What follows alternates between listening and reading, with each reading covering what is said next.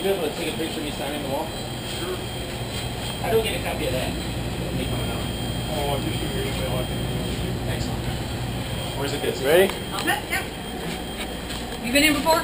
Yeah. Okay, so you know easiest way to get in and everything else. Just put it backwards. So just sit on your butt, rotate feet first. Rotate around feet first. That's Probably the easiest way to scooch in. There you go.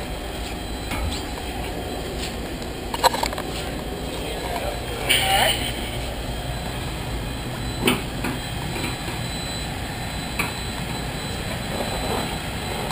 which handle to grab, just the yellow one. Yeah. Alright. Go ahead.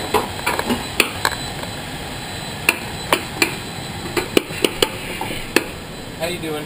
Good. How you doing? All right. What's your name? Mike. Hey, Mike. My name's Rene. Nice to meet you. Just want to make sure I don't. You're all good. Come on up. There, most of the systems have been disabled, so you can't hurt very much. Rene. Nice to meet Nice you. to meet you. Nice to meet you. Tell me a little bit about what you've done with the shuttle program. Uh, well, uh, started as a board shop uh, technician and and, uh, and a pad technician, and uh, ended up here in the crew module as a spacecraft operator. And uh, we um, we control the ship uh, hands-on. We're the high, hands, eyes, and ears for the test team when we were launching.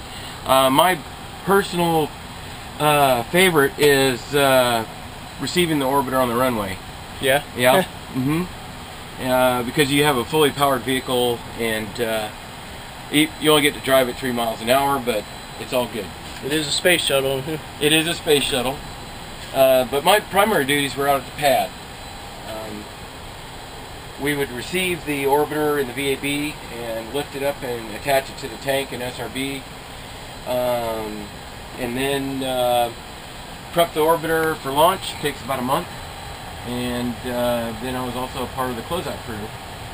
And uh, so we would uh, prep the vehicle, uh, close the hatch, you can also look out here.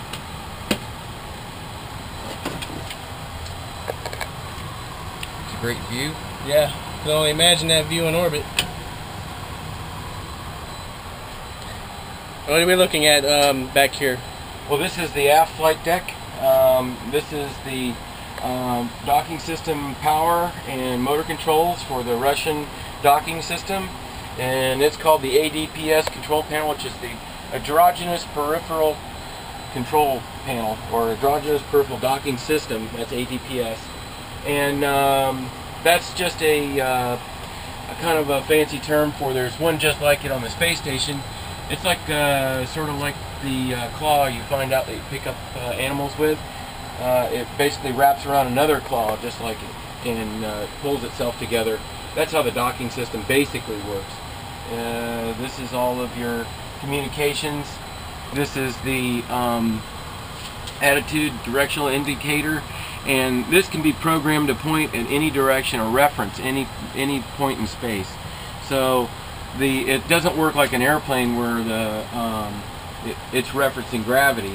You can make it reference a point any point in space. Now, can you just really quick here while we have some time, tell me a little bit about what uh, we are looking at here on some of these um, displays? Well, uh, a quick two-minute view is this panel right over here is all the cooling for the shuttle, which is one of the most critical systems on the ship. Uh, if we have a cooling problem, that could make them deorbit in uh, less than an orbit um, because the heat load on the vehicle is very great. Over here is all your atmosphere and uh, some of your cooling, cabin relief. That's for uh, depressurizing the orbiter uh, so that they can do spacewalks. They depressurize to a certain uh, altitude. Um, these are basically the input output. If you put an input here, this tells you how much you put in and then much, how much gets uh, uh, actually put in. This is your attitude uh, indicator and your horizontal situation indicator.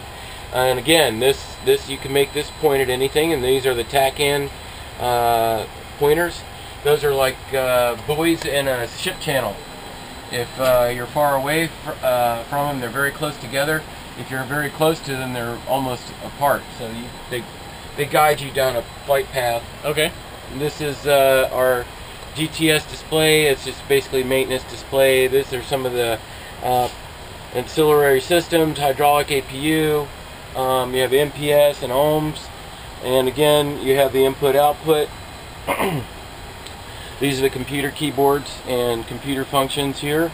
You can switch the control from one keyboard to another to whatever um, CRT that you wanted to use. So would that be pilot or commander can go ahead and take control? Yeah, this tells you where which is going to control that little red bar right there. Okay. Now, one question I've always had, I always forget anytime I come on board the flight deck.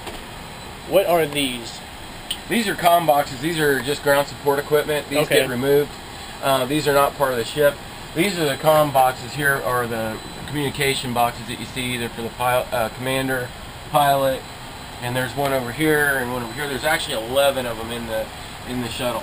Okay. So, yeah. So these boxes behind the commander and pilot seats are not even brought The- up in these are the space. NASA Communication Network or the Operational Communication System. Okay. Yep. And Rene, how long have you um, been on the shuttle program? Uh, almost 30 years. Yeah. Yep. Mm-hmm. And any Uh, idea what you're gonna move on to once Endeavour is?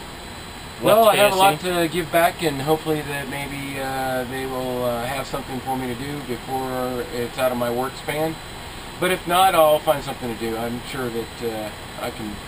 Uh, Well, I'm sure with your unique experience doing what you've done, you, you won't have a problem. you never know. It's a tough market out there. Yeah. well, thank you very much for everything that you've done over the last 30 years. Uh, You're welcome. the country's very proud of you and everybody else that's been involved with the program. And I say that on behalf of the rest of the country. We're very proud of all of you. Thank you. It was my pleasure. Yeah. Very much so.